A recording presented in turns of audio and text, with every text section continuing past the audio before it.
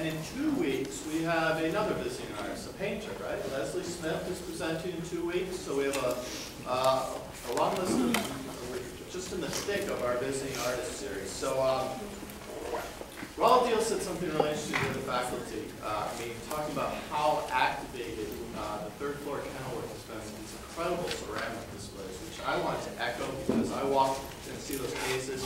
I was emailing Ty saying, who are these artists? There's just unbelievable work. And there's an unbelievable conference going on, the NCECA conference, which I'm sure Chris will talk about in a second.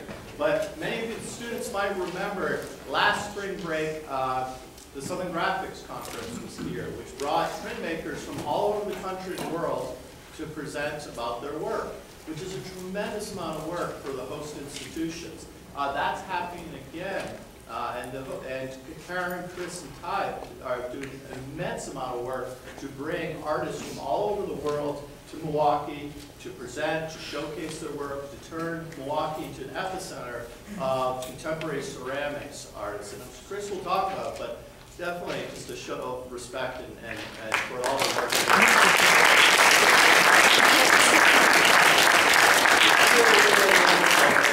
check out the work, the shows that are happening all over the place. By all means, you will see world-class artists, uh, starting with tonight, a ceramics artist presenting. So Chris, without further ado. Okay, we came here to talk about Katie, Kate, uh, Catherine Ross, called Kitty Ross, and, and uh, Everybody does. But uh, just to finish with NCECA, uh, in the Kenilworth building on Wednesday the 19th, from 10 a.m. to 5 p.m., it will be open to the public, and I encourage you to come and see not only the third floor, but Inova is having two artists working in Clay Young Emerging Artists. One of them actually is a colleague of uh, Kitty Ross. Uh, we ran into him earlier today when he just arrived to do his installation. So that would be a nice surprise. And then on the next day, there will be the reception opening, and that's from 6 to 8 on March the 20th. On top of that, we have two grad students that are doing an installation, and then uh, uh, that will be Brock uh, Troff, and then Janelle, there you go, uh, some of you know her from RCB, and she will be putting some of her installation, and she has her MA show up in the gallery today. You can see it through the week. Uh, next week too? It's, it's, one more week, no? Yeah.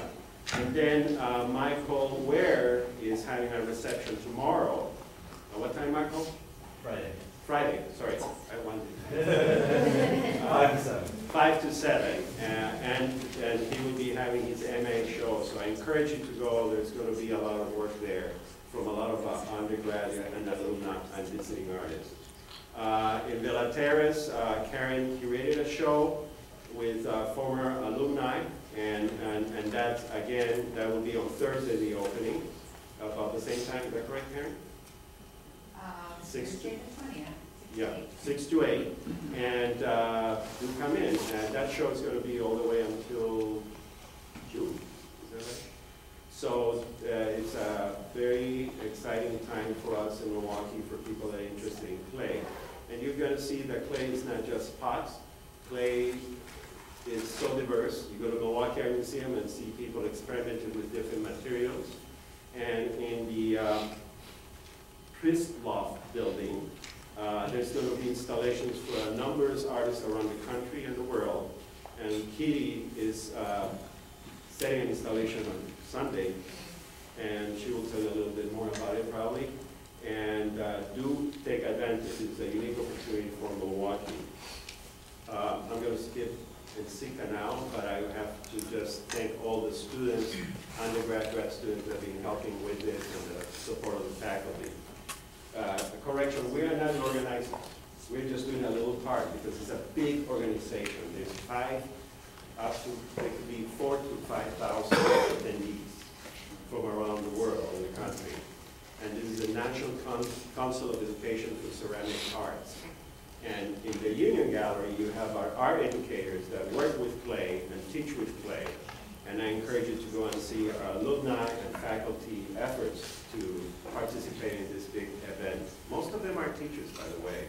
practicing artists, curators that participate in this big uh, conference. Hopefully the weather will be helping a little bit. So I hope during spring break, if you're around, you join around the city and enjoy and, and, watch the show. In Maya, there is a, a curated uh, jury show of uh, undergrads and grad students, and we have one of our very own former grads that uh, undergrads that has a piece there. Uh, Phyllis uh, uh, Schlesinger. Schlesinger, and he's pronounced it okay. Uh, so get a chance to go and see it. Um, so I thought it would be wonderful, maybe crazy because we're very busy to bring an artist right before the beginning of this event. But spring break is next week, and Katie Ross I thought would be the perfect person. She's cheap, no, I'm just kidding. It's one of our neighbors, right, right in, in Chicago. The person really that's organizing the whole event, because we couldn't take the burden, Karen and I, is actually Zacharias, uh, Paul. Zacharias, and he's a faculty at the University of Wisconsin. And he is basically coordinating a lot of this stuff. And he happens to be Katie's former grad student. So just give you an idea of the influence of Katie. I know Katie way back when I just started graduate school in Madison. And I was having a show in Chicago, and she invited me over to do a summer course at the Art Institute of Chicago. And- And you were fairly new there at the time. And it was a wonderful experience. And, uh, uh, uh, and since then, we've always been seeing each other in conference and stuff like that. Something that always amazed me about Katie is the diversity of work and this, the spectrum of experience, from architectural restoration to just a potter, to installations, uh, non-fire pieces, the chairs I remember you had in Austin, in Texas, in what year, 1990, in, uh, in one of those NCECAs, 1980s. Yeah, and that was in NCECA, and it was old modern chairs out in the desert. And, uh, and now, this new work that you're going to uh, venture and see. I encourage you to go and check her website.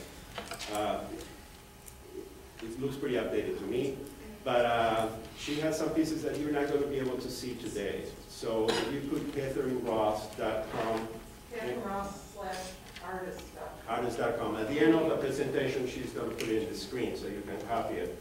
You can see that the spectrum of work and the amount of people that she has worked. When I look at her curriculum vitae, it's 12 pages, and that's just sink, uh, shrink a little bit. The amount of reviews and publications of her work, the amount of grants, she's an international artist. She's a member of the uh, uh, Ceramic Academy in Switzerland. Uh, That's a very prestigious membership that you have to be, uh, uh, it's a long process. Uh, But once you get there, you are there with a big clay fat people, not really. But no, it's, it's a very prestigious, and, and, and she has, when I look at people where they have traveled and exhibited, it tells me a lot about the breadth of experience. She has been in China, she has been in uh, Russia, uh, following her heritage a little bit. Uh, We have common, the world is so small, we were talking about Carlos Runcie, Tanaka, Peruvian artist, some of you I see here met him. She's related to him through the Chicago line of the German side of the family. So uh, what, what I like about your work too is the relationship of history, the exploration of sculptural practice, that in some ways clay always comes back in some way or another. It's not about clay, it's about human history. So I encourage you to enjoy the presentation and welcome Kitty Ross. Uh, thank you very much.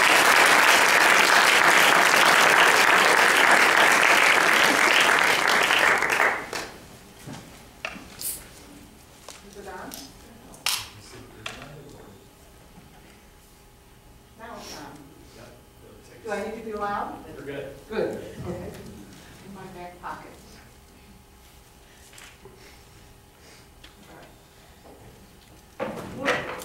I'm gonna get rid of this right away. I just, just gave you a heart attack, didn't I? It's fine, it didn't hit my laptop. No. it. Okay, um, yeah, I encourage you all to, to visit, uh, any of the NCECA venues next week that you can, and you'll be seeing a lot of NCECA visitors coming through this school to look at the exhibits that are here, and they'll all have name tags on. And, um, you'll look at name tags and recognize some very famous international ceramic artists as well as students from all over the world, and they're all very willing to talk to, to everyone and share experience, and it's a great place to make uh, a network of colleagues across the world. And, and that's how, how I started building my career was through a network based in ceramics through NCECA uh, contact. So it's, it's a really interesting uh, event, and you're, you're really lucky to have it in your hometown. We can never do that in Chicago for a lot of reasons. But anyway, to start, um, what I'm going to do here today is talk about a body of work that I have loosely called in the studio uh, ghost, or ghost work, for a number of reasons that I'll explain as I go along. Um, The, the culmination of this work uh, will be shown at the Pritzlaff Building next week. So everything that I show you today, what? Um, Everything that I show you today starts with a little bit earlier work uh, that is the beginning of the conceptual structure for what I'm doing today. And it builds, and, and all of the work is very different from one another, but you, you'll get an idea of my thought process and how one thing leads to the next and how I got to what I'm doing today, which a lot of people may think if they just see that isolated, it's a very strange body of work. Um, So we'll, we'll get right to it with uh, the beginning. I need to give you a little bit of background information about myself. I grew up in upstate New York near Niagara Falls. Uh, I spent a lot of time at Niagara Falls and Lake Erie. Niagara Falls is this huge, powerful, noisy uh, deluge of water, and uh, it always struck me as this extremely emotionally charged powerhouse of a place. With a lot of interesting nuances that people who live in that area know about. Most other people think of it as the honeymoon capital and a tourist trap, which it is that too. But it's also a place where almost 400 people a year go there to commit suicide. So it has this real emotional draw, a psychologically charged place. Lake Erie, on the other hand, which Niagara Falls feeds into, is a very quiet body of water. It's different than, than uh, Lake Michigan because it is the shallowest of the Great Lakes, but it can get stormy very quickly. But when I grew up there in the, in the 60s and 70s, uh, the pollution was so bad that it was declared a dead lake. And it was uh, illegal to go swimming in it. It was uh, this very quiet, peaceful place with this underlying diabolical uh, danger. And as I grew up, I would see the landscape and things out in the natural world that had a psychological presence for me because of the, the, the, the way people react to it and the things that people do to the environment. So later on, as I started art school and uh, got more proficient at, at uh, developing my, my ideas for my work, uh, I started understanding myself and how those memories and experience became the basis for my work even today. So we'll get started. So uh, this certainly isn't the earliest work, but this is from the late 90s. Um, early on, I was doing a lot of unfired uh, work out in the landscape. Um, when I was in high school, I worked on a farm uh, that raised livestock and boarded horses. And one of the things we had to do on the farm was to replace the floors in, the- in the stable. I mean, this sounds totally unrelated, but it's very related to what I'm doing now. Um, Traditionally, animals live, of course, out in the landscape in the world, and they, they move around on the ground. In farms now, it's an artificial environment for them, and they live in buildings that either have concrete floors or wooden floors, um, and, and sometimes more high-tech floors now. Those kinds of surfaces are very unnatural to those animals and cause behavioral and psychological problems for those animals. Concrete floors are very hard, it causes a lot of um, tendon and bone damage, it's very slippery, they're uncomfortable on it, and they don't feel, feel secure. Wooden floors have a little bit of give to it, which is better, but they sound hollow when they're walked upon, and that terrifies a lot of animals, uh, especially the first time they walk across it. When we had to, to replace the floor in the stable, we were putting in a clay floor to replace a wooden floor. And this is, was really my first contact with clay as a material to make something out of. And when we um, unloaded the clay from big dump trucks, and we would have to spend days tamping down the clay into a giant slab that was about six inches thick of moist clay. It was a lot of labor, kind of this really interesting large-scale labor. Uh, and then when we were finished, we let the horses in. And I immediately noticed that the horses paused at the door, assuming they were going to be walking on a wood floor, stepped on the clay, and immediately you could see them sink into a relaxed posture. And at that moment, I realized that a raw material can have a psychological or behavioral effect. If it can do that to an animal, it can do that to people. And that was my beginning, the beginning of my interest in making things, and my beginning of uh, being interested in using clay as, as a focus uh, for my work when I went to school. Later on, I started doing uh, architectural restoration, terracotta restoration as, as a side business while I was teaching. And again, I was working very large scale with lots of materials. That was a great way to learn not to be afraid to work big and heavy with a lot of labor. And uh, now I'm, I, I tend to go from really large pieces that are installation based to very small intimate pieces, and they move back and forth.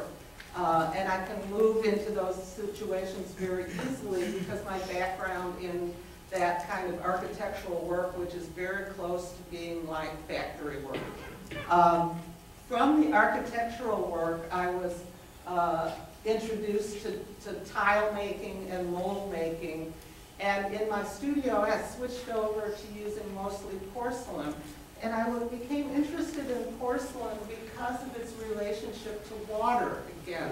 Porcelain is always found in places, uh, when it's tile, in places where there's a lot of water, like bathrooms.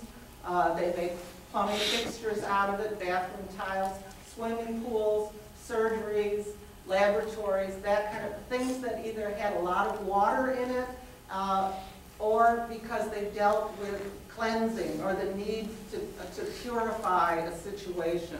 So I was interested in the idea of purification and cleansing as a psychological issue and also uh, the idea of water for its environmental uh, relationships. This piece I made for an NCECA show in the late 90s in Columbus, Ohio. It's called Prophylaxis Hygiene. And at that time I was reading uh, a lot of philosophy, uh, just to pass my time, I guess. And I, I was interested in a French philosopher uh, named Jean Baudrillard, who wrote a, a, a book called The Transparency of Evil.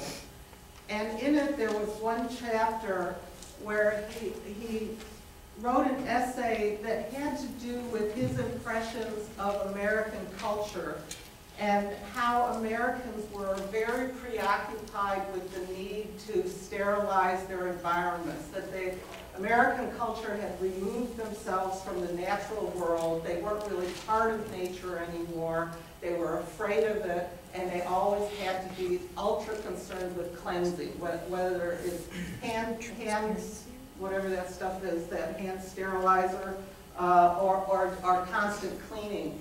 And he, uh, he was a little over the top with his opinions, I think, but it was interesting to hear that point of view that came from Europeans, and I agree with it. And he also uh, premised, which is very true, that, that over-sterilizing one's environment actually causes more disease than it prevents. It causes mutations in bacteria and germs to, to uh, uh, cause them to develop more vir- vir- virulent and diabolical uh, diseases to develop. So people who do that tend to cause more problems than they solve. So thinking about that idea, I started collecting um, hot water bottles at thrift stores, those rubber old bottles, and making molds of them and casting them in porcelain. My, my practice in the studio is usually uh, uh, starting out from uh, one point. I, I make one object and it sits around a long time and I kind of think about it and it, it asks me questions. And if I think the questions are interesting, I, I, I pursue it. So I made one porcelain hot water bottle and I showed it to a lot of people and people told me that it was really beautiful. It was so nice in porcelain. It reminded them of when they were sick and when they were a child and they, their mother gave them a hot water bottle and it comforted them and it was all very nice. And I thought, oh, well, that's nice, but it's a little not that interesting to me.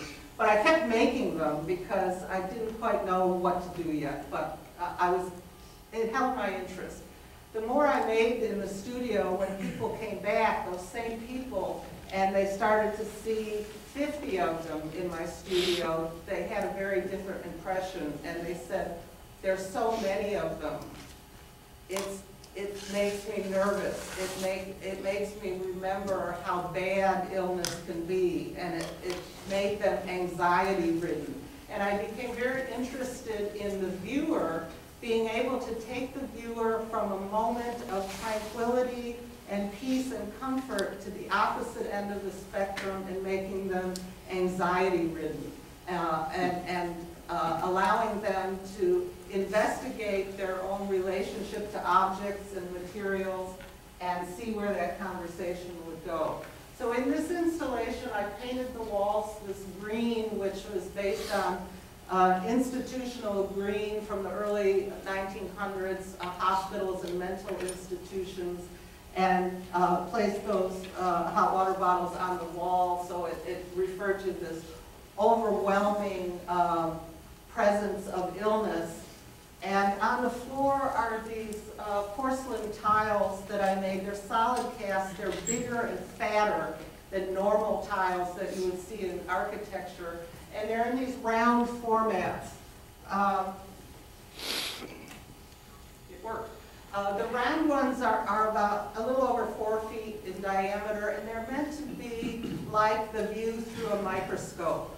And they have uh, glazed detail images of um, cells from a waterborne disease causing bacteria. Uh, there were several of them in the installation. Others, there's a detail of, of one of the cells. The others on tiles on the floor are fragments of the circle with an image of a, of a body in the bath cleansing themselves. So trying to, to accomplish this self-purification.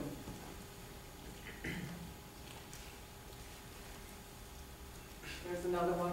Um, I like uh, to have an installation where the viewer uh, moves through the space, can't see everything at once, but uh, reads each element like a word in a sentence. And as they move through the space, They complete the sentence, complete the paragraph, get to the end of the, the, the narrative, although it's not all that, uh, specific a narrative, and come to a conclusion and can go through this, uh, period of time physically and in their mind so that their associations and impressions build over a period of time during the visit.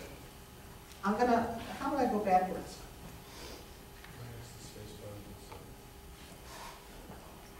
This one over here?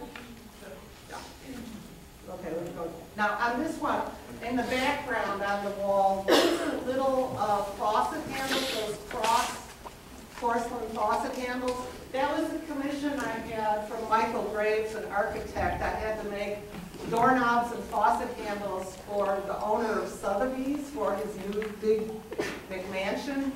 And it was kind of odd because he wanted 90 faucet handles for his house, which seemed like an awful lot of faucets, but I guess it was a big house. But anyway, I liked the faucets, and I kept the molds, and I decided to, to make them, but not put hot and cold on each faucet. Instead, there's a word on each faucet.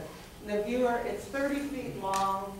The viewer has to walk down the length of the gallery to read the, the text on the, uh, on the faucet handles.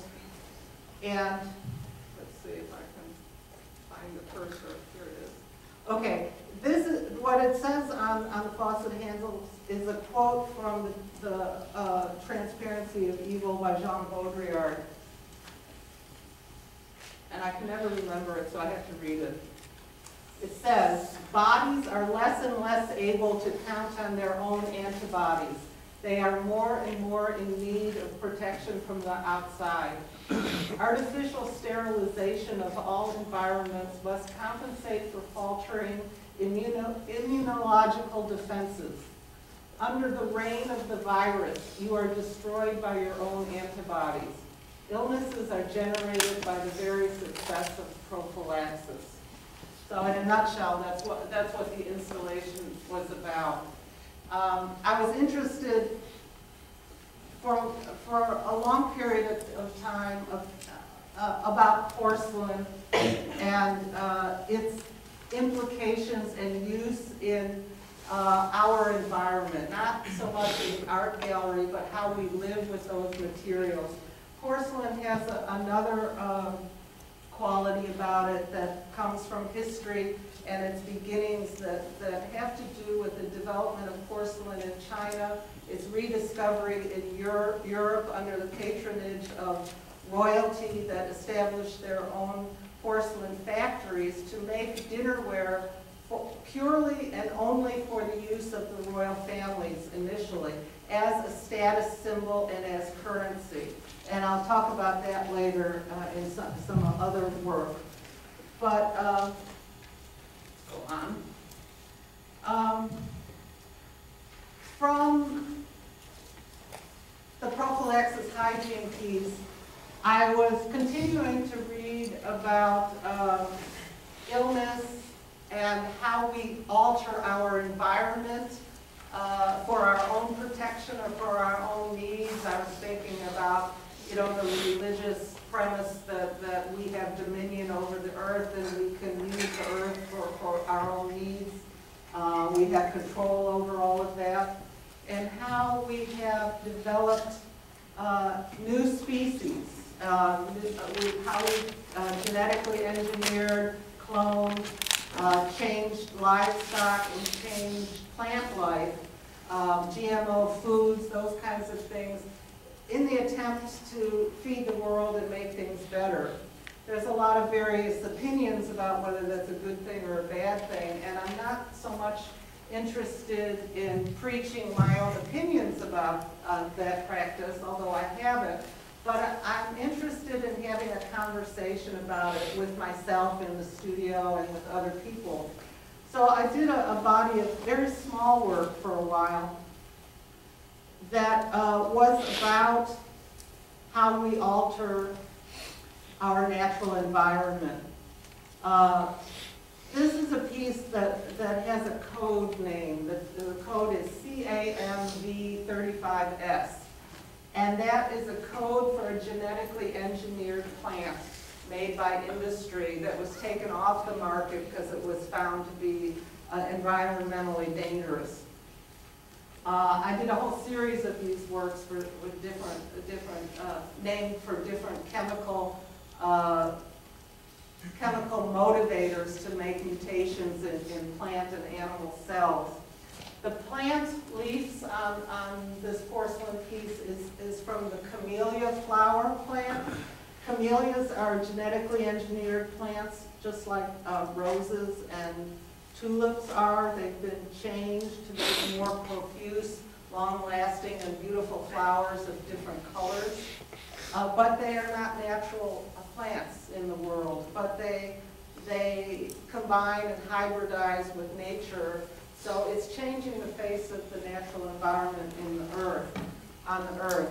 I use uh, cabinet grade plywoods and uh, porcelain tile from the tile store and cut it up because I want a relationship to our real world and our homes by, in, by interjecting materials that come from places that we know physically, uh, like the floor and our furniture. The, the other long form on the other side is, is just an abstraction that is an investigation for me about how cells or atoms or anything at an invisible microscopic level can change and mutate. So it looks like this stretching and splitting cell. And I, I did a number of these pieces, but I, I think about these little pieces that I do in the studio as a way for me to develop my ideas, and usually what comes out later is a bigger installation that takes longer to develop. Uh, this is another one of those small pieces titled Chimera. Chimera is a half human, half animal mythological being. But again, it looks like a cell. Um, a cell of uh, uh, two identical cells that are opposites, also black and white, um, based on the same issues that I was dealing with. Around that same time, a little later, I was asked by the Centers for Disease Control in Atlanta to do a piece for their museum. I didn't even know they had a museum, but they do, and it's pretty amazing. Um, but they do shows where they invite artists to make work on a theme that is related to the research they do in their um, laboratories. And it's usually medical research, disease research, uh, and, and research that has to do with social practices uh, where they're looking for ways to make people's lives better and to prevent disease. So they were doing a show about the need for hand washing and for cleansing their environment. So they asked me to do a piece for it. And the curator called me and proposed this, and I said, you know, I don't really believe all that much in hand washing. I, think it's fine to wash your hands, but I, I really don't believe in over cleansing all the time. And she said, oh, that's fine, that's fine, but would you, would you do something for this show that is sponsored by a company who makes uh, towel dispensers and soaps for hospitals? It was kind of funny. And I said, well, okay, if you don't mind, that's, that's fine. But what I ended up proposing to them was to make a big pile of porcelain bars of soap that don't function. They don't function realistically, they don't clean anything. But they function psychologically because they present this notion of over-cleansing. And there's a video component to this piece too, but I proposed that I would make about 1,500 bars of soap and they would be in a big pile in the museum and the viewers could come, the public could come in, and they could take the soap, take as much as they want, and walk out with it, that it was a giveaway. Hmm. And I like the idea that somebody would be interested enough to take one of these, and put it in their pocket, and take it home, something that they can't really use, but it, may, it, it allows them to have a conversation through this object about the things that they do automatically without thinking much about it. Here's a detail of it. These were made from, off of molds from real bars of soap that I bought and cast in porcelain. Here's another detail, so you can see they look just like the real thing, but as soon as you pick it up, you know it, it's not, it's too light, it's, you know, it feels like a teacup.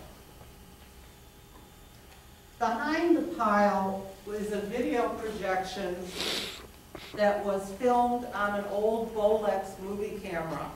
It's not video, I mean, it is video, but the, the actual filming was, was on a movie camera. So it kind of looks like a 1920s movie that kind of flutters a little bit, and it's, it's uh, grainy, and it's black and white, and there's no sound. And what it is, is 10 seconds in very slow motion of hand, a wash, two hands washing in the sink with water. And then it fades to black, and then there's 10 seconds of the ocean waves coming to shore. So I explained to the curator that I don't want to teach anybody how to wash their hands. She suggested, and and I was horrified, she suggested that I make a series of ceramic sculptures of hands describing how to correctly wash your hands. And I said, oh, I really don't want to do that. And then I proposed this other thing that really surprised her, and she was interested in it. And I explained, she, she kind of wanted me to explain it, and I said that I'm interested in the psychological meaning and motivation for cleansing. That cleansing is not only a physical act, but it's an, people go through rituals for emotional and psychological cleansing too. So the video, because it's slow motion, it looks like an old movie, it's very dreamlike. That's the instigator for the thoughts about uh, psychology and emotion. So that was that work. Now, back to, to porcelain as a material and its history and meaning. This is uh, probably the most common kind of porcelain object that everybody's familiar with in Western culture. Developed in China, then in, in Europe. They still make these things, of course, we all know that. Uh, but it's really lost the meaning that it was in, in, initially intended for in the 1700s in Europe as currency and as a status symbol. Um, now these things are, are still purchased and used, but they don't really have anything to do with contemporary culture. We all use Starbucks paper cups and, and uh, travel mugs and all of that stuff. That functions better for us than these things do. Um, But they're still being made, they're still being purchased, but mostly they sit in curio cabinets in, in our grandmother's living rooms and dining rooms and that kind of thing. And sometimes they come out for Thanksgiving and Christmas dinner. Uh, So I'm, I'm, I'm interested in the obsolescence of that meaning, uh, that that material has conveyed for centuries. Um, Cups are used all over the world, certainly for tea and coffee. In India, very specific cups were developed a long time ago for use by the untouchables, the lowest class of people in India. These cups were made out of clay. They were fired to such a low temperature, they never became hard and durable and permanent. They were not vitrified. If you put it in a bucket of water, it would disintegrate back into clay and you could remake something out of it. That was done on purpose because untouchables were not allowed to use a cup that some other person from a higher class could use after they did. So these cups had to be disposable, they're one use only. And uh, they're still made today, but a lot of people use them because they've become very popular. And people like that when you pour your tea into one of these cups, that the tea starts to dissolve the clay. When you drink it, your, your, your tea is a little gritty from the clay particles in it, but they like that grit. Uh, it's part of the, the ritual. So in all these, these tea stalls on the street, these cups are, are, are one-use disposable cups. Uh, they're sold very cheaply, they're made very quickly, often made by children. Um, and then people drink it and then they throw it on the street, on the ground. And eventually they break down and dissolve back into the environment. in a kind of an interesting way. Uh, It's funny, though, that a number of years ago, uh, the government outlawed these cups. And particularly because of the train lines, which is the major mode of transportation across the country. That, those cups were sold on the train um, to hold the, the- the tea and coffee, and people would throw them out the window. And all the train lines around the country would have, alongside the tr- uh, tracks, would be this, these rows of red clay for the whole length of, it would map out the country, these trails of clay from the dissolved cups.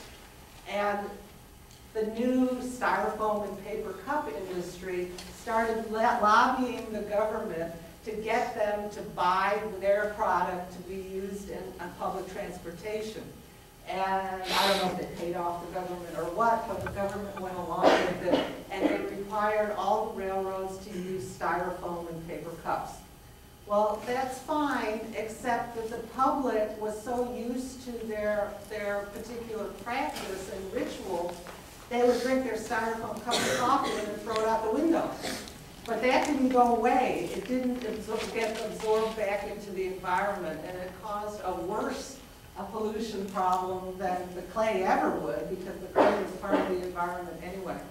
So the government re- reversed their regulation, and they went back to the clay cups, which is kind of interesting, and I, I kind of like that. Um, So I also see, you know, again, I mentioned that I see the porcelain's um, meaning in many ways obsolete in today's world, that it really isn't a status symbol anymore, although a lot of people still feel that way. It doesn't have that high value that it did in the 1700s. There's a lot of other things that- are a lot more valuable. So it's obsolete. And I'm interested in a lot of things that are obsolete in the world. But my beginning point was then to make these traditionally European porcelain cups, but treat them like the Indian cups, that were not status symbols, that were for the, the lower castes, that they were, they were not precious anymore. So I made all of these, I don't know, a couple hundred uh, porcelain cups and saucers, but didn't fire them so that they, they, their function was really removed. You could use it once if you used it carefully, but they became ghosts of their own history. And that was kind of the beginning of this series of work that, I- that I think of as being about obsolescence and becoming ghosts of their own uh, past and history. So I left the mold lines on the cups to- to reinforce the notion that they're, they're not the real thing, they're duplicates, uh, stand-ins or ghosts of, of the original objects. Now, at the same time, I was still thinking about and reading a lot about uh, how we manipulate our natural world and uh, plants that are manipulated, and I started thinking more more specifically about animals. And wanted to find what was the most, or, or the first animal that was genetically altered by mankind. And it turned out that it was most probably the mule. Mules are hybrids. They're, they're not a natural animal. They are a mix of two species, uh, a horse and a donkey, and their offspring is a mule. Uh, They're sterile because they don't have an even number of chromosomes. Horses have 64 chromosomes, donkeys have 62. Their offspring has 63, and that makes them sterile. They would not uh, breed with one another in the natural world. They would only do it if there's no other options. Um, So I thought, wouldn't it be interesting to, to be completely responsible for an animal's life that only exists for my purpose. It would never exist in nature. So I found the most rare breed of mule in the world and bought her, and this is her.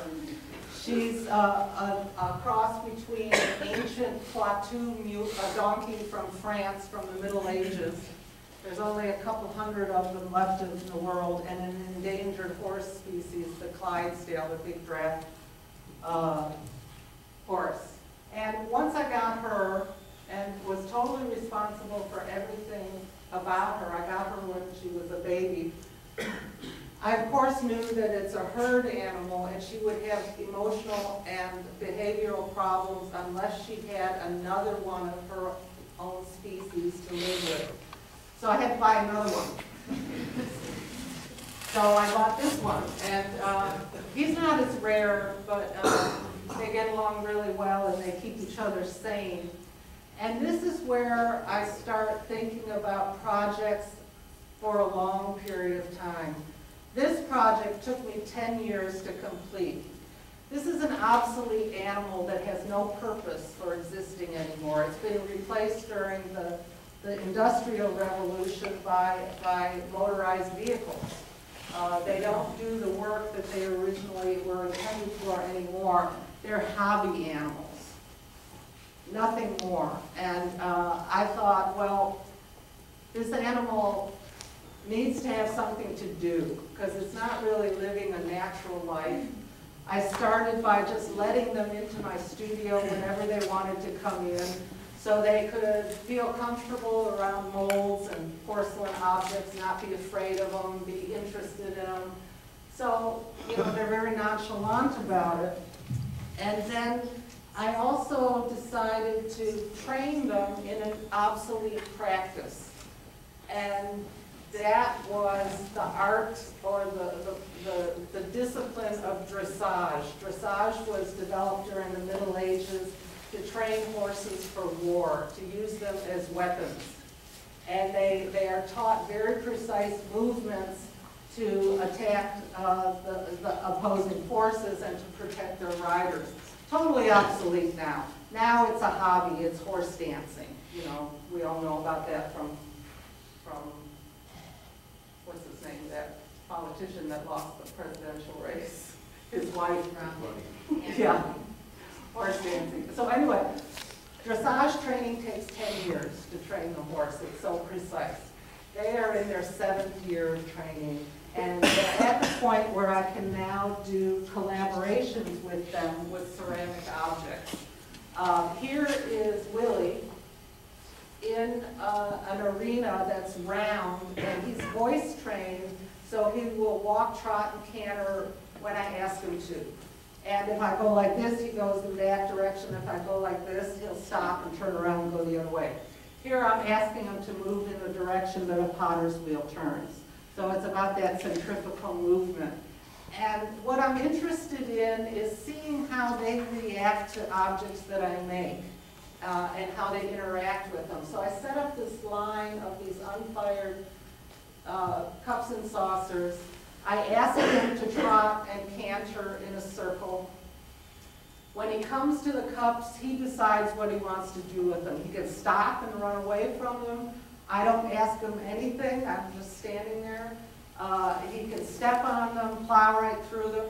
He decided, he moved right through, didn't pause, and he jumped the cups. And he kept going and going, and he became more and more interested in putting his feet as close to the cups as possible, and he would place his feet right between them. They know exactly where their feet are, so he was kind of playing with these objects. Every time he went over them, you can see his head turn and he's looking to see what happened. Until at one point he, he disturbs one and it cracks and then I ask him to halt and he just stops and that's the end of the interaction.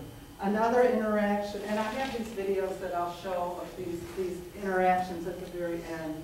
Uh, this is in their field. I, uh, these are experiments that I'm doing to, to help me decide what kind of an installation I want to do based on these, these uh, experiments or collaborations. This is just a big circle of powdered porcelain. Horses and mules perceive uh, through sight differently than we do. They have a split brain. They, they perceive things separately through each eye. They also perceive color differently. Black and white, uh, they don't usually like it that at all because they see that as negative space. So they would come up to a circle like this, and to them it looks like a big hole in the ground. they won't step on it, but they're curious because to keep themselves safe and to survive in the natural world, they have to understand their environment. That's called the Umwelt, or their worldview, which is different than ours. So their understanding of these objects is different than our understanding. And they're very interested in investigating it and deciding it if that's a safe thing that they can move around comfortably in their field. Willie liked to walk up to it and get real close and blow through his nose and raise the dust. I think that's the only way he could understand that it was not a void, that it was an, uh, a material. Then I started casting these spheres in porcelain and placing those objects in the field. They're very interested in them because anytime there's something new in their environment, they go right to it and want to understand it. So uh, they would walk very quickly through them, never touching them with their feet, but touching them with their nose, pushing them, and change, altering their shape, um, softening them, denting them, scratching them. And I kept making more and more, putting them in different parts of the field while they were still wet. They would investigate each one, change them, I would fire them, and then I would make some new ones that were a little bigger, and then the next time bigger and bigger and bigger. And then I brought them back to the studio and figured out, well, now what are we going to do with these? And these are just these little experiments in the studio to kind of figure out what it means to me. And again, it's about, you know, the history of porcelain and the obsolescence of the material and how different species read materials and make sense of them in their world. But I really wasn't happy with this really formal presentation of them. But I really liked the abstract softness and the record of interaction in these spheres. Um, here's a detail of this cup form. This was another one I did using a dressage saddle. Really not satisfied with these as objects too much. But what I decided to do for the show here next week was an installation that I call the subjective meadow. And it's about the Umwelt, or the worldview, and how different species think about or make sense about objects in their environment. And I started making more and more of these spheres that the mules helped me finish, um, placing them in my studio, making more and more, uh, until I felt that I had enough that I could call it a meadow uh, in an abstract sense. This is what the ones looked like in the studio, so you get a sense of the scale. It started out at about 30 inches.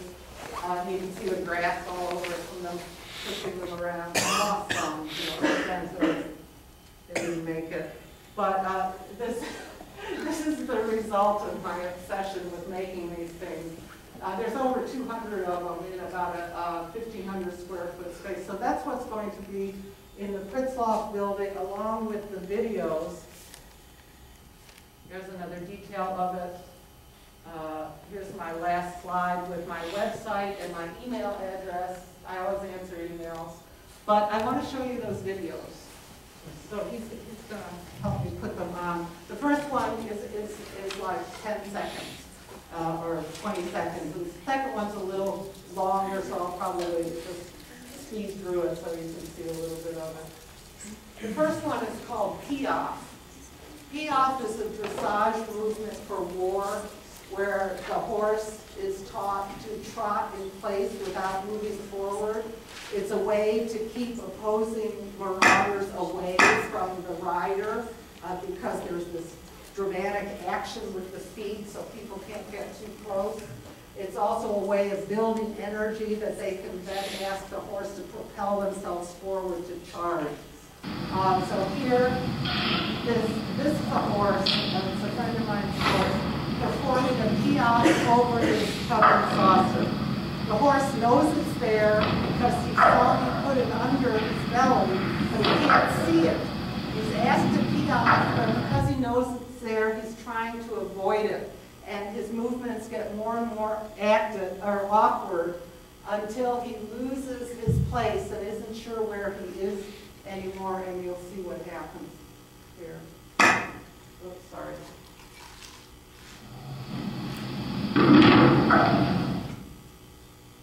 So these are not really finished video perfor- performances. They're little vignettes that become part of an installation to help uh, present more content to the piece. So we can put the other one in.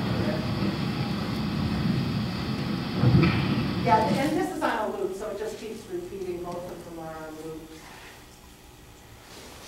That's fine, it's gonna take a minute for him to transfer it over, but I'm, I'm really amazed, I'm right on time. All right. I just have this. So actually, while we were doing this last video and while it's playing, um, I can take questions, there's no sound, there's no sound for the last video, but it it goes on for a while, so, um, we can, yeah, moves, and, um, it's those three, uh, interactions, the Willie in, in the circle with the cups, Willie jumping the cups, and then the the porcelain powder circle, and then the spheres in the field, and you can see how the animals re- react to those objects. There's Willie. I, I slowed down this video because it's so hard to see what's actually happening when it's, uh, full speed ahead. But watch his head and how he, um, looks behind in a really subtle way. Not so much right away, but after a couple of, of rotations, he's really interesting, interested in what those cups are gonna do. It's Because of course, those cups could be a bear, they might jump out and grab his leg or something. He has to be really aware and safe in his environment. I also like, he started out as a, as a black mule, and as he ages, he gets uh, lighter and lighter gray uh, to white, and now he's the color of porcelain. That's why I chose him for this piece instead of the other one. The other mule is way too interested in the video camera too, and, and just wants to come to the camera all the time. See him turn and look? These are really big mules because their, their mothers are draft horses. They weigh uh, over fourteen hundred pounds.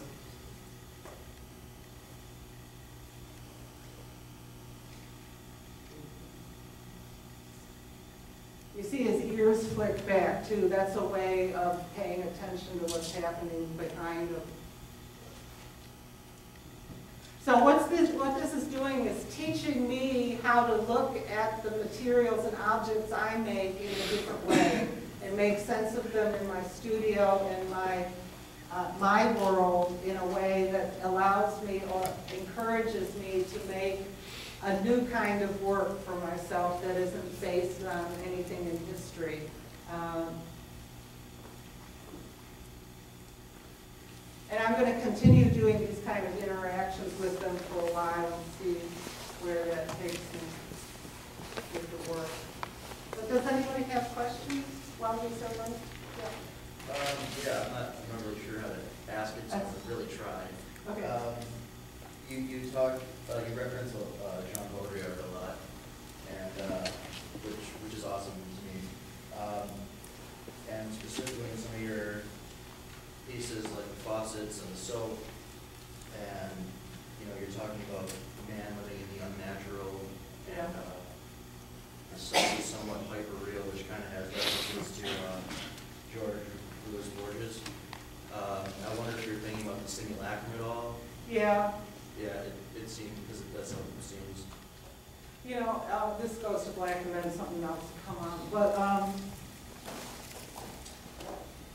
I start reading theory and philosophy, and then I stop, because then I start looking at other people's work that, that refers to it, and, and, and I don't want to do that. I just read it enough so that it sparks a question for me, and then I follow that question.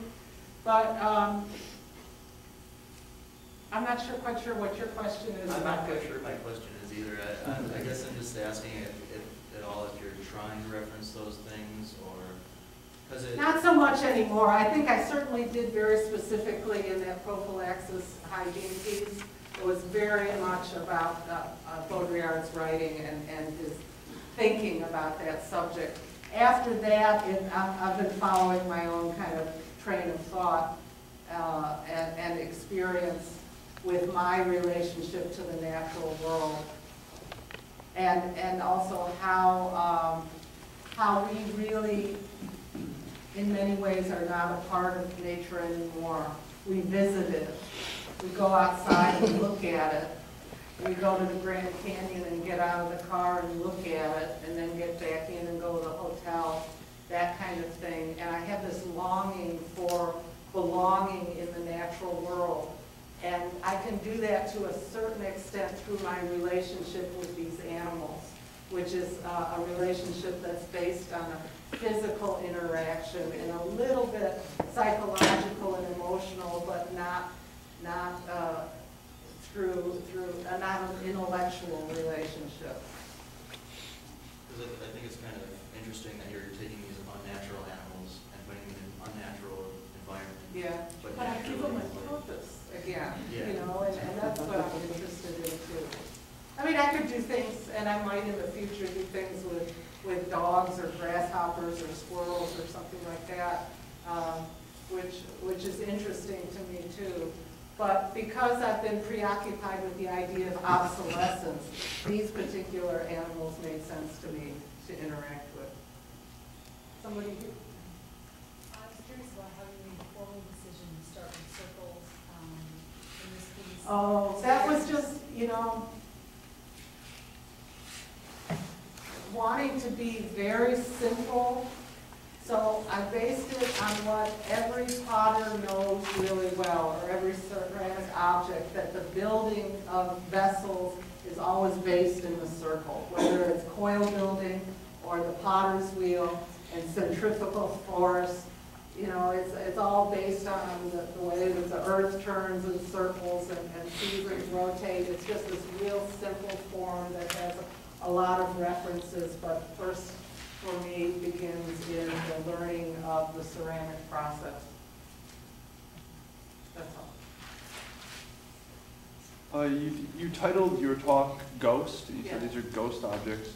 I was wondering if you could explore that a little bit more. I, I know you talked about the, the pieces that had kind of uh, ephemeral quality to them, and they, they represent something that was. Yeah, I think the ghost is, is a label that references obsolescence and the loss of meaning and the loss of function over history, uh, with these materials that I use that have a very long history and still have, have this mythology of value, uh, which as potters, you know, many people are, are ceramic artists, you know, they think, well, porcelain object is worth more, it it costs more. It doesn't really, it's still clay, uh, it's, it's, there's not that much difference between it. It's more of this, this, this historical value when it was used as currency and as a status symbol.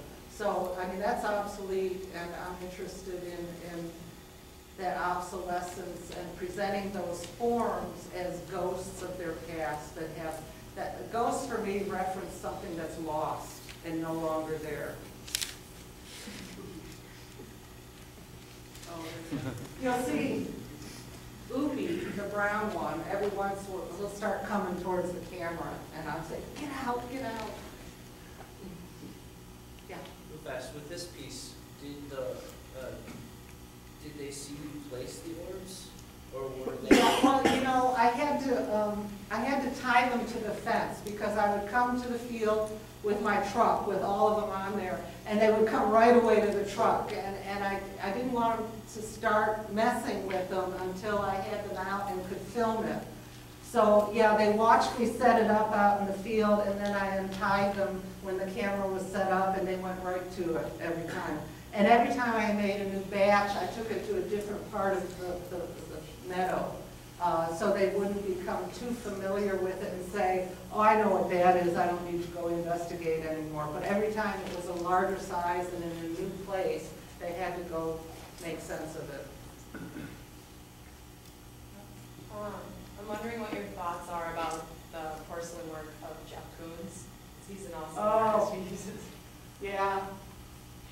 You know, um, I think it's really interesting because it, I- it's the kitsch object. He's got all this sexual innuendo in a lot of it, especially the work that was based on, on his wife. Um, Are are you asking about a specific aspect of them? Well, just how you guys both use the same medium of. Yeah, but it's so different. I guess that's what I was saying.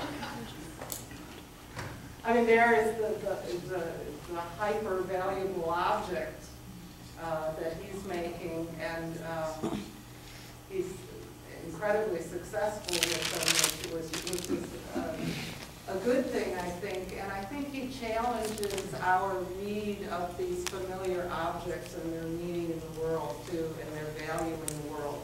Those things like those, those animal balloons that he casts and, uh, other things based on kitsch objects that, that especially artists don't, don't give much value to usually. Um, I mean, they have, they have a, a, a cultural value, but they're, they're not given, um, an, uh, a status in, in our culture, uh, that other things are given to, and, and he's, he's turned that upside down, which I think is kind of interesting. A lot of ceramics people don't like this work. I, you know, it's fine with me, I like it. So you notice that they move around them and they never touch them with their feet, they don't knock into them, it's all with their nose that they're interested. And she, she's the boss, the females are always the boss because they have to raise the kids, so they're always a higher rank than the males. And every once in a while, she'll claim a patch of these balls and chase him away and not let him come. And she just stays there with them, plays around with them, that they're hers, and that he can't come until she's finished with it.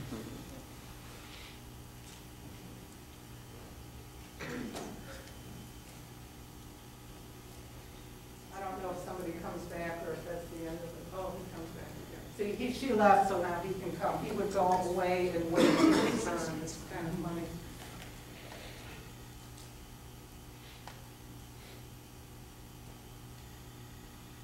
But they're not glazed, they're fired in, in the installation. People ask me why I don't glaze them, to make them prettier. And I'm not interested in them as ceramic objects. I'm interested them, in them as records of this interaction. And if I glaze them, that record would be gone and hidden under the glaze because you don't see the impressions, the scratches, the indentations so much. Oh, now it's repeating. Okay, go ahead. Do you think about this work as a reconnection to a natural environment or an, uh, In a lot of ways, for me, it is. Yeah, I think that, um, you know, I didn't have to own these animals. I can go places and, and interact with somebody else's animals. But I really wanted to live with them night and day and know them in a way that I felt like I could understand, uh, their thinking about these objects that I wouldn't have been able to get to if I was just going to somebody else's farm. So, yeah, it's a, it's a way that I feel keeps me in the real world. Sometimes the art world is very artificial and can be a little crazy. And this keeps me in the real world, which I don't know why I have a longing for that, but I do.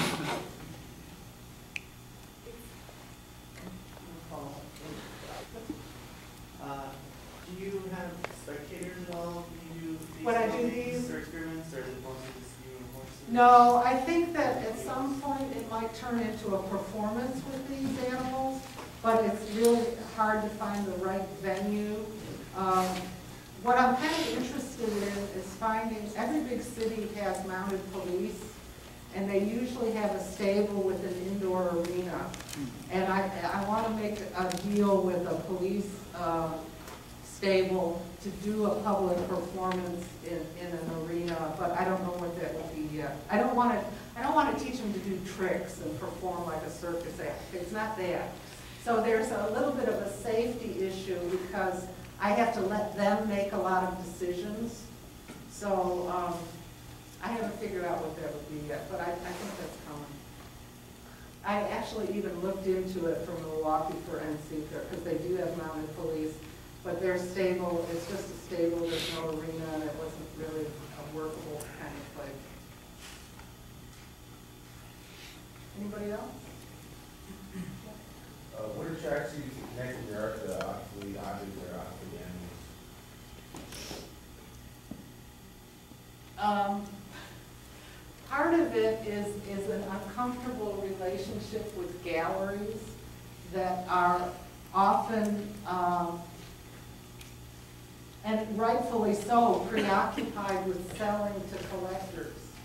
A lot of collectors are very good, very knowledgeable, and very interesting, but a lot of uh, collectors are also interested in uh, a collection for its status symbol and seeing that maybe collecting porcelain is a higher status than collecting low fire or whiteware or jet although Jeff Koons is certainly up there in the collector's world, but, um, part of it's that, part of it's my interest in the history of ceramics. I taught history of ceramics classes. I'm real interested in the politics of ceramics and ceramics use as propaganda particularly in the Soviet Union, propaganda porcelains when the Tsars fac, uh, the Tsars were murdered and their porcelain factory was shut down and then confiscated and used to disseminate propaganda on them, uh, which is really interesting to me. And about the use of ceramics uh, to produce bone china in England this is interesting, and most people don't know this. When the United States government had a, a policy to annihilate the American bison in an effort to starve out Native Americans, they were collecting the skeletons of those bison and shipping them to Staffordshire potteries in Great Britain, where they made bone china out of the buffalo bones. Then they shipped those teacups and saucers back to the United States to sell. People don't know that that's what they're made from, uh, but a lot of Native Americans know that. So I'm interested in the politics of those materials. And I've done a little bit of that, that, that has to do with the uh, Soviet porcelain, and th- that works on my website, but it doesn't really connect with this work, so I didn't show it.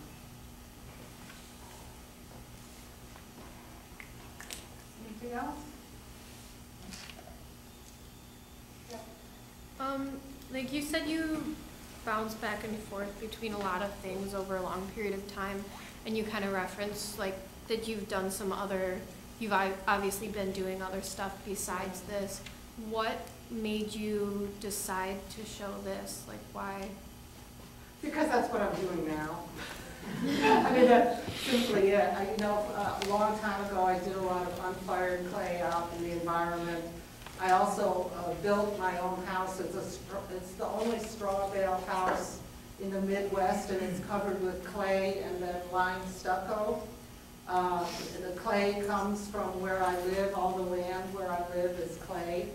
Um, So that was a real large-scale architectural project uh, that I did, and used to do a lot of architectural ceramics, tile murals and that kind of thing.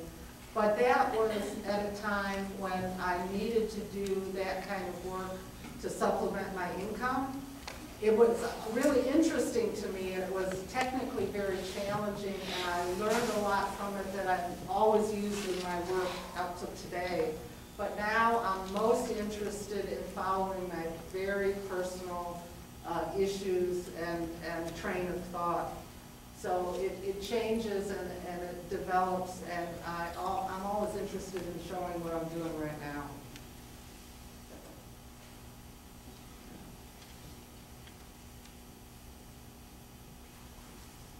Are we done? Oh, there, wait, one more. Uh, one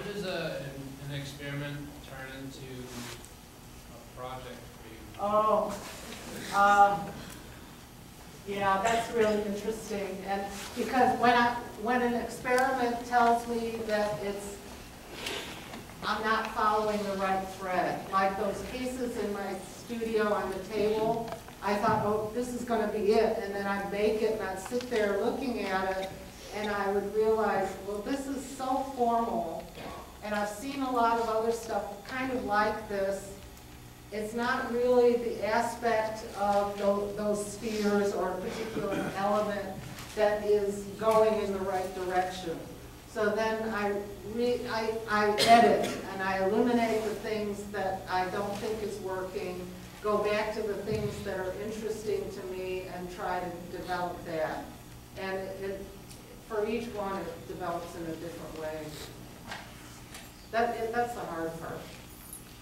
Can you talk about the tactics you use when setting up space you're working in a gallery? I know you said you veered away from that, but how do you actually get people to slow down and look at that work? You talked about making people. Some of it is time. in, um, usually they're in large spaces, and a lot of it has to do with overall views of objects and detail. Uh, People would see like those balls from a distance, they look like spheres. But as soon as you start getting close to it, you start seeing the surface details and the, the records of the marks on the surface, and it draws you closer and draws you into the piece. And then all of a sudden, the piece becomes an environment that your body is within. And my hope is that then the viewer can then have a physical reaction or relationship with the piece. um, And it draws them physically through the space. Sometimes uh, the objects change throughout the space and you get different or more information from each object as you move through and it leads you through a timeline. The, the subjective meadow doesn't really do that. It's, it's meant to be, present itself as a, an outdoor meadow, as a place, but it's not it's not a natural meadow, meadow, it's a conceptual or psychological meadow. I hope. Okay, This is just kind keep a, coming. do they miss not having balls in the field? They have balls in their stalls. Part- part of- The thing about them is hybrid animals are healthier, stronger, and live longer than either of their parents because they have what's called hybrid vigor. These mules may live to be 50 years old, which is 20 years more than a horse.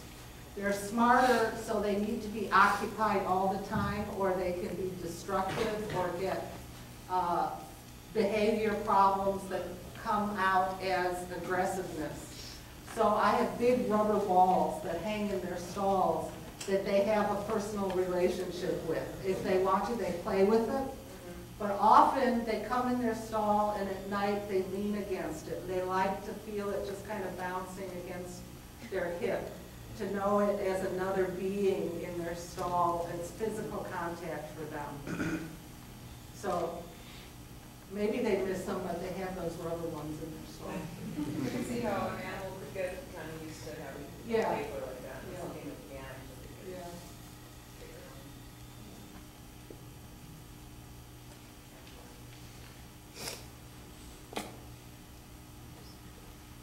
We're done now. Uh, One announcement, uh, feel free to come up and speak with our guests for fifteen minutes or so. And just one observation, it's really nice to see some former undergrads and grads here tonight. So, uh, uh, welcome back, it'd be great to see you all, uh, many other folks, so. Thank you very much for coming.